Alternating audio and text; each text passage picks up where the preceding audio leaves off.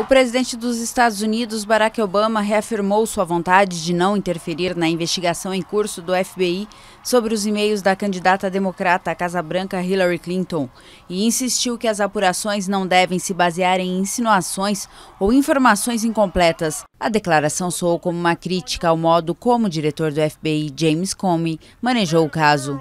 Comey, um republicano, enviou na última sexta-feira uma breve mensagem aos dirigentes do Congresso para lhes informar que a Polícia Federal Americana havia descoberto novos e-mails vinculados ao caso do uso de um servidor privado por parte de Hillary Clinton quando ela era secretária de Estado. Enquanto o candidato Donald Trump tira grande proveito da revelação, Hillary Clinton fazia campanha na quarta-feira em Nevada, um estado tradicionalmente republicano. A eleição presidencial americana será na próxima terça-feira, 8 de novembro.